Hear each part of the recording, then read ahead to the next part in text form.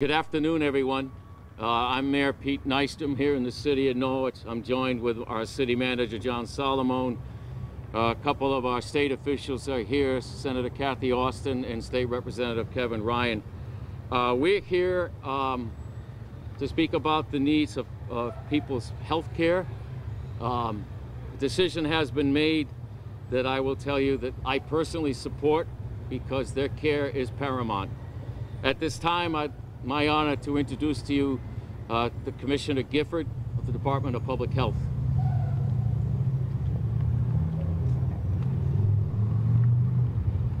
Good afternoon, everyone, and thank you for joining us here this afternoon. Thank you, Mayor Nystrom, for hosting us. I'm Deidre Gifford, the Commissioner of the Acting Commissioner of the Department of Public Health and Commissioner of the Department of Social Services. Uh, thank you, Senator Osten and Representative Ryan, for being here with us. Thank you to our local health director, Patrick McCormack. Uh, thank you to Mairead Painter from the Long-Term Care Ombudsman um, for joining us and for your strong advocacy on behalf of nursing home residents and their families. Um, as the uh, Public Health Commissioner, I am entrusted with the regulatory responsibility along with my department for all nursing homes in Connecticut. We know that nursing homes have been hard hit by the COVID-19 pandemic. And um, throughout this pandemic, the Department of Public Health has worked hard to give guidance to all of our 214 nursing homes in Connecticut on how to keep their residents safe and healthy. Some of our orders have been difficult for families and residents, including uh, restrictions on uh, visitation. But we have worked hard in partnership with the industry to provide guidance, personal protective equipment, where, um, as you know, the state is um, working with the facilities and paying for testing of all nursing home residents and staff on a regular basis. The Three Rivers Nursing Home, as you know, has had a major COVID-19 outbreak since the end of July. So far, 21 residents and six staff members have been infected. Four residents have died.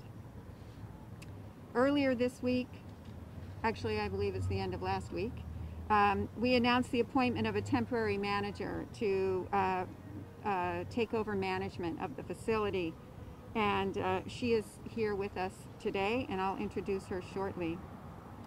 Uh, as a result of the assessment of the temporary manager at Three Rivers Nursing Home, earlier today I signed an emergency order uh, for the sake of the health and safety of the residents and staff at, Three Rivers. Um, this emergency order is uh, requires the emergent discharge um, of all the residents at Three Rivers under existing public health uh, statutory authority. This is a difficult and sad step that we have to take, but the department has concluded that it's in the best interest of the health and safety of the residents, staff, and families at this facility. The closure order means that residents will be moved to other facilities beginning this week. Um, as a little bit of background context, on August 24th, the department issued several deficiencies against JACC Healthcare of Norwich, um, uh, the owner and operator of this facility, for several federal and state regulatory violations, most of which involved failure to adequately control a recent outbreak of COVID-19.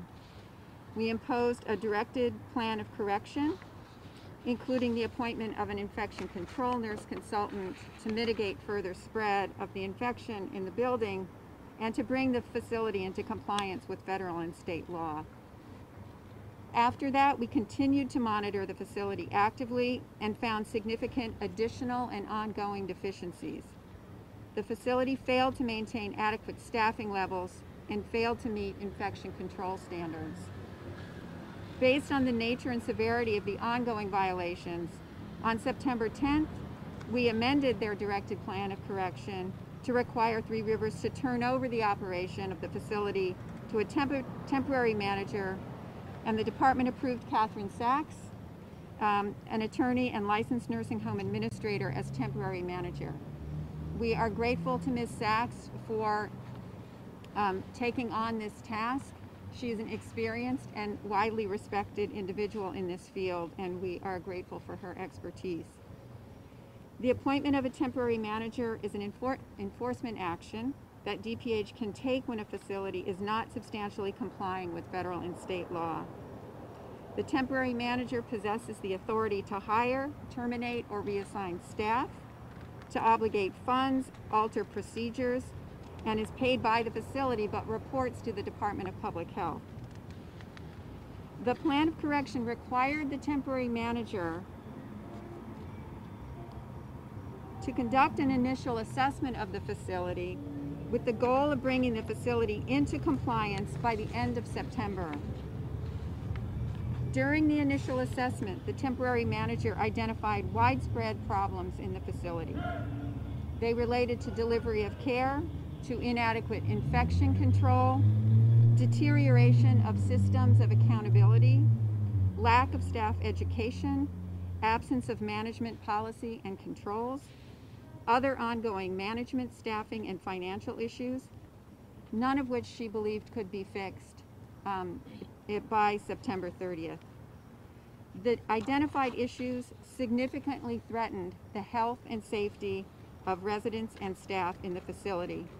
She recommended to the department that we order the facility to discharge all residents to other facilities as soon as possible, and we have accepted her recommendation. Given the scope of the facility's serious deficiencies, we have concluded that the facility cannot be brought into compliance with federal and state regulatory requirements by the time period permitted under federal law, and the department's order and that the facility's continued operation presents a meaningful risk of harm to the residents of the facility. So to protect their health and safety, we are issuing this emergency order requiring the discharge of all residents to appropriately licensed facilities in consultation with us, the Office of the Ombudsman, and the temporary manager. As I mentioned earlier, nursing homes have been particularly challenged through the pandemic. We believe that most of Connecticut's nursing homes are well positioned to manage these outbreaks. They are testing, they have appropriate staffing, and appropriate supplies. But the issues at Three Rivers have gone beyond managing an outbreak of COVID. So we are issuing this order effective today to protect the health and safety of the residents. We recognize this is an extraordinary action and we do not take it lightly, but we believe it's in the best interests of the residents and families that make up the Three Rivers community. I'd now like to introduce Mr. McCormack, the local health director. Thank you.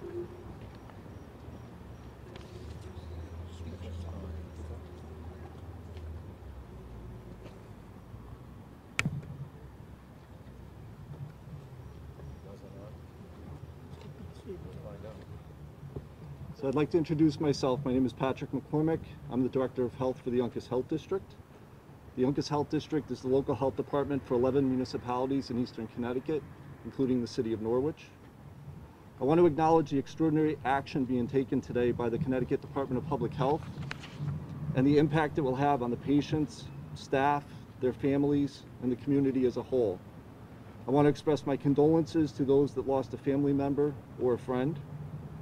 I recognize that the closure is being done to protect the health and safety, and I support this effort. It is critically important that nursing homes be vigilant in protecting the health of their residents. During the COVID crisis, the local health district is tasked with inspecting businesses that reopen, responding to complaints, delivering personal protective equipment, helping schools reopen, and providing contact tracing for cases of COVID-19 in the community all while trying to keep up with our ever-changing protocols during the pandemic. On August 26th, we had a call with the State Health Department, the local hospital, and EMS to discuss the status of this facility and identify the ways to support a response. I want you to know that this community is incredibly tight-knit. We work well together and will continue to work well together to support the community as we move forward. We will continue to monitor positive cases and work with the state on testing in the community and make every effort to minimize the spread of illness. We ask people to please wear their mask, Please wash your hands and please follow social distancing guidelines. One day there will be a vaccine, and we look forward to partnering with the state as we distribute it and we continue to keep our community healthy. Thank you. I'm going to introduce Mairead Painter.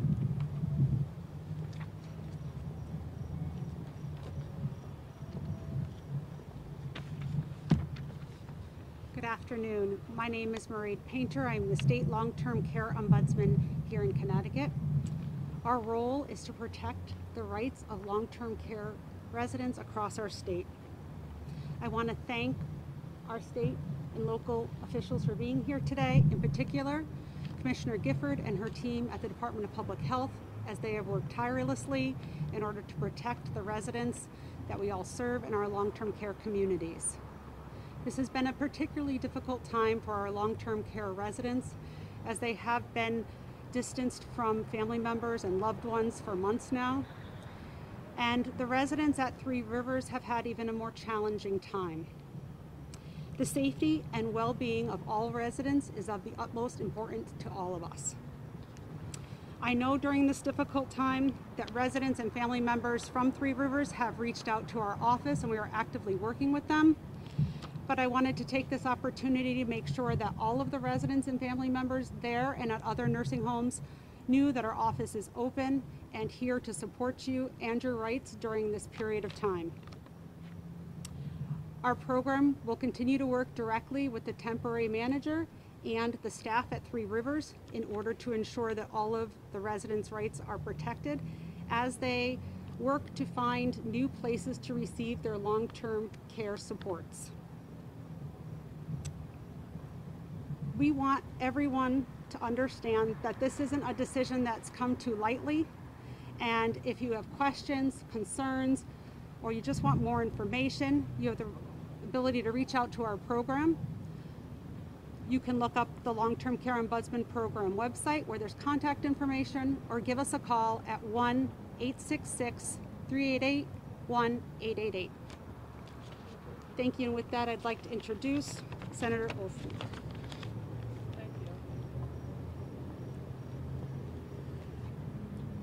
So, um, good afternoon, everybody. Uh, thank you very much for um, coming down to Norwich. Uh, we wish it was uh, not under the circumstances that you are here today. Uh, this has been a situation that started to co- become public uh, almost two months ago and has resulted in the need, the absolute need to uh, remove residents, some of whom will have to go to a COVID positive unit as they are still COVID. There are also uh, many residents who will be removed to other nursing homes. My understanding is within a 15 mile radius of uh, the Three Rivers facility. There are many questions that have not been answered yet, and the people of Norwich and the residents and their families will be demanding those answers. We want to know how this happened and where it came from and why uh, were people unnecessarily subjected uh, to this virus. Uh, my information is the commissioner said that there were four people who died from the results of COVID at this nursing home. My understanding is it's five. We have to get down to the answers of the uh, the these questions and delve deeply into uh, finding out what happened here at Three Rivers. The loss of this facility will be felt dramatically in this town. It is most important that we protect the life and safety of the residents that are there. It is their home, and we are, in, in fact, we are subjecting them to a move out of a place where they have lived for a number of years in some cases.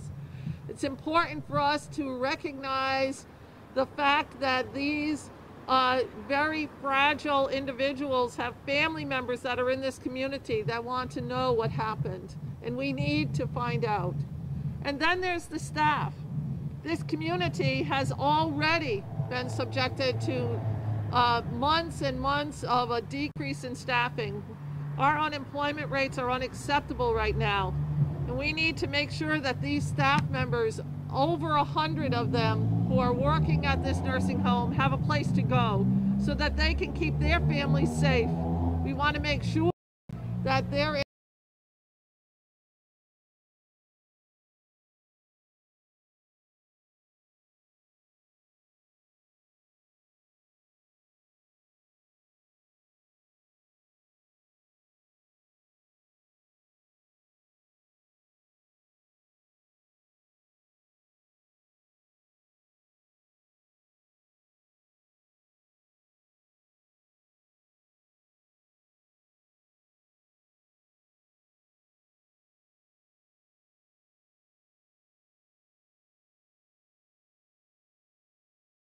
um,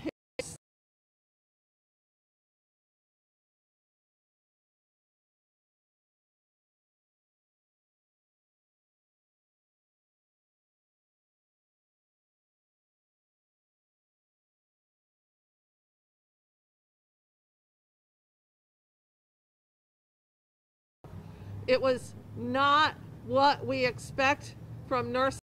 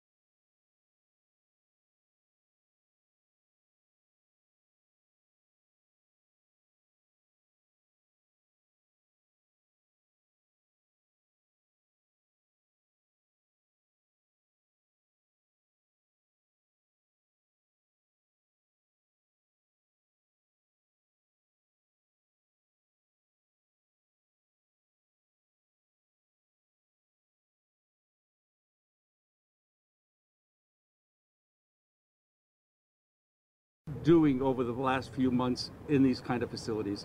We have a really great concern, as the as Senator mentioned, about their positions, their incomes, and their uh, sustainability during these next few months. And again, it goes without saying, Patrick McCormack does do a great job for Eastern Connecticut with the Uncas Health District, and we see that he will continue to do that fine work uh, to ensure that this region is very safe from this dangerous virus.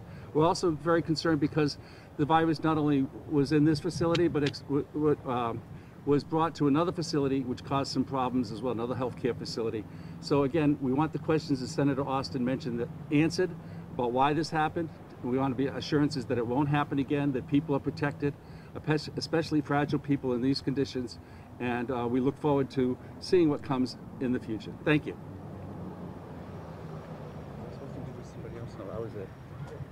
If you have any questions, we also have members of DPH staff and also the temporary manager, if anybody has any questions. Can the temporary manager speak to the process of transferring some of these residents and what's going to be done to make sure that this doesn't spread to other facilities?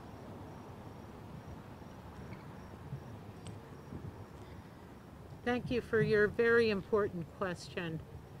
Um, we're in the process of uh, constructing the safest plan possible that's responsive to all that we know about uh, infection control relative to this virus.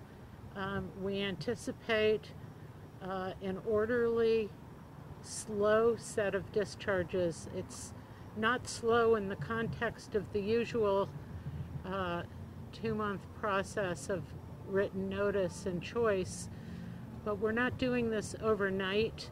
Um, we anticipate relocating um, under 10 people every day, one at a time, in separate transport, um, without people waiting in halls or otherwise um, uh, having any contact with uh, uh, vectors. Um, there is, uh, DPH has made um, a terrific arrangement with the closest uh, COVID positive unit, which is uh, Riverside in East Hartford, and they're prepared to work for, with us uh, to accept our COVID positive patients as well as those who are currently under observation. Um, I would think by the end of the week, but we have to see how every day goes to make sure that we can handle the process uh, appropriately and consistently. Um, if we have a problem, we're going to slow it down and do it right. Um, the people who go to Riverside are not going for permanent placements unless they elect to stay there permanently and there's an appropriate bed for them. They're going there to uh, recover until they are uh, determined uh, to be recovered uh, by an attending physician in that facility. They will then, at that point, have full choice in selecting their new home. Uh, and they will receive a um, top priority, a preference, according to uh, an executive order the governor, the governor issued uh, some months ago relative to another closure. So um, those people are being placed there on an interim basis to ensure that they can be properly cared for while there's still potential for infection. Um, the residents who are not positive and who are not under observation will have local choice. Uh, we'll do everything we can to um, work with them, their responsible parties and families, and the Ombudsman's office to try to respect their preferences and assist them in the event they need uh, to take a second choice.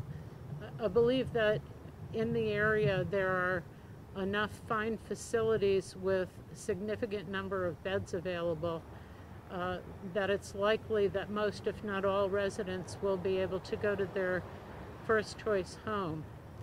Uh, I anticipate having uh,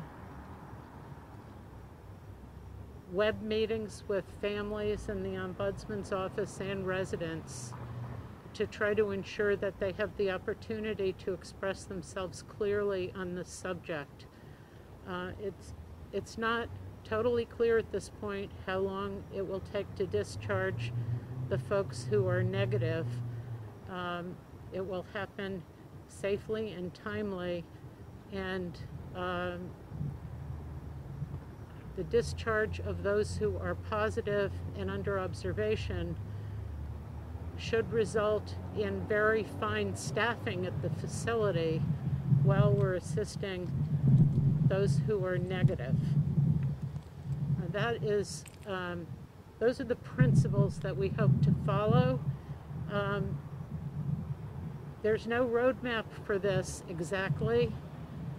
We're interpolating from other applicable regulations and principles and are trying to drive this by resident choice and best medical advice. How many of each in each category? How many are positive and under observation and how many are not? Could I just, I just wanted to add, if I could, um, Of course. on the COVID recovery facilities that uh, Ms. Sachs mentioned. You might recall that the state, at the height of the pandemic, under the leadership of my predecessor and Barbara Cass, stood up several of these facilities uh, to accept hospital discharges. Um, and uh, to prevent people that were recovering from COVID in the hospital returning when they were still acutely ill to, to um, their home facility and potentially spreading the infection. Although those facilities have been virtually all emptied because we've had such a low uh, amount over the past several months of COVID in nursing homes, we have maintained that capacity and that ability to repopulate those facilities. So that's what uh, what Kate was referring to, that the um, those facilities are available to us and the Riverside facility has agreed to restaff and uh, allow the, the COVID recovery facility to, uh, to start up again. In terms of numbers, Kate, I don't have the exact. Thank you. We have seven residents in our observation unit. It's called PUI, Persons Under Investigation. and we have 17 residents in the COVID positive unit. I should note that the great majority of them have been there almost through their full quarantine periods as defined by the latest CDC guidance on the subject. They have not yet been evaluated by their attending physicians for recovery, and that will happen where appropriate. Uh, we don't want to transfer people who can be properly deemed to be recovered to Riverside. Um, we'll be very sensitive about following the protocol that's been specified by the CDC, and that's now our policy. The total number of residents? 53. So, so fifty-three total minus these ones? Minus the seven and the seventeen. Correct. Would be the left that would be able to go to their choice immediately. Yes. And when they go to their choice, they will have to be quarantined at their choice, but then they will be able to stay there. Is there any indication on how long these infection control measures have not been adequately in place in Rivers? I've been very focused on current conditions. Uh, the Department of Public Health did two exhaustive surveys in August and then again in September, and I think it would be best if you referred to their work. Um, it's honestly, it's the role of the temporary manager to address resident welfare in the present. And the only reason why that may be pertinent to me is the staffing vacancies. There have been, there are a lot of staffing vacancies in key areas, including in infection control. Why were those staffing vacancies in place? Was it people that just didn't want to come to work anymore, that maybe left their jobs because they didn't feel safe in those conditions? I think there are a variety of explanations, and again, I'm dealing with the fact that the positions are vacant and not necessarily doing a forensic on how that came to be. Uh, so I'm afraid I can't answer that. How long have you been there and how long did it take you to realize that this could not be corrected by the deadline? The deadline was September thirtieth, is that right? Yes. Um, I started on September 10th, which was Thursday last week, and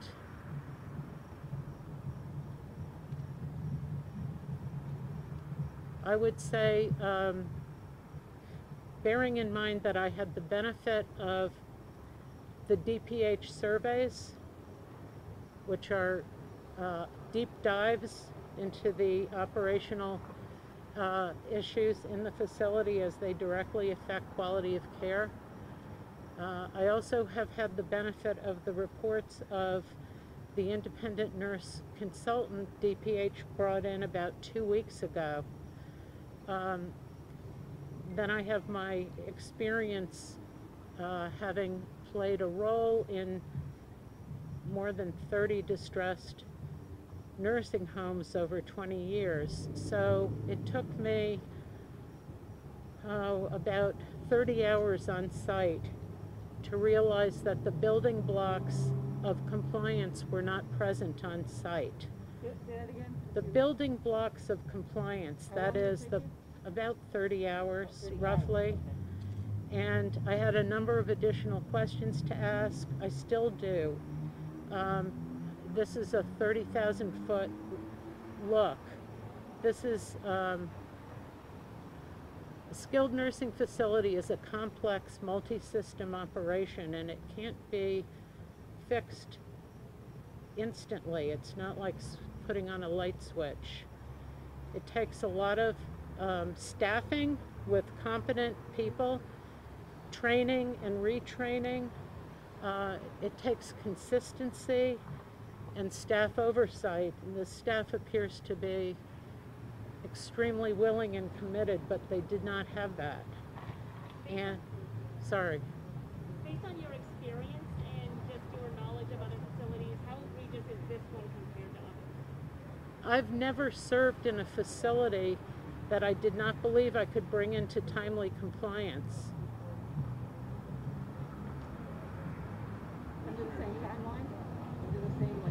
timeline? Well, they, they had more than three weeks if you consider when the uh, information was given to them in August about the seriousness of their infection control uh, deficiencies. Commissioner, JACC owns another nursing home in Connecticut. Are you looking at them? Does this affect how you look at them? Or you, do you have similar concerns? So, um, so we don't typically talk about our, uh, our pending or, um, you know, uh, scheduling of what we might look at and might not look at. But, um, uh, of course, we want to make sure that the, the facility that they are operating in Connecticut is, uh, is safe. So the department will take the appropriate action to do so. Know, Has this ever been done before? Has the department ever literally removed all the patients? from nursing homes? Um, Barbara, do you, you want to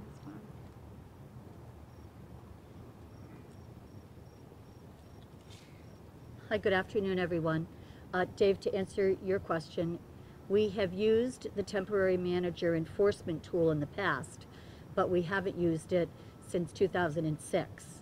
And in 2006, it was a very different application. They were able to come back into compliance. As Kate's indicated, there seems to be multi-system failure here, and to achieve compliance by the 30th would not be achievable.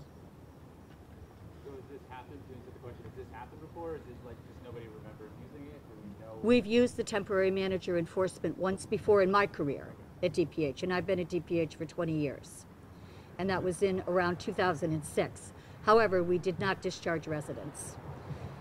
This is different than a receivership, obviously. You've Yes. Done a receivership here as well, and also, was this just a situation where the, the, the patient felt that the residents were in, I don't want to say danger, but, you know, I mean, there are other options you could have used besides this, but obviously, this is a last step, but a big step that's. I think. Correct.